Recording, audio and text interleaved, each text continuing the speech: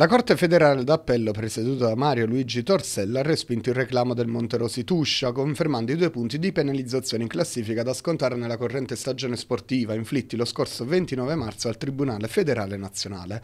La società era stata deferita su segnalazione della Covisoc per il mancato versamento entro il termine del 16 dicembre 2022 delle ritenute IRPEF relative alle mensilità di settembre e ottobre 2022. Una sentenza che non andrà a inficiare sui play-out, almeno per il momento, in attesa del ricorso della Viterbese, che si discuterà il giorno 11 maggio 2023.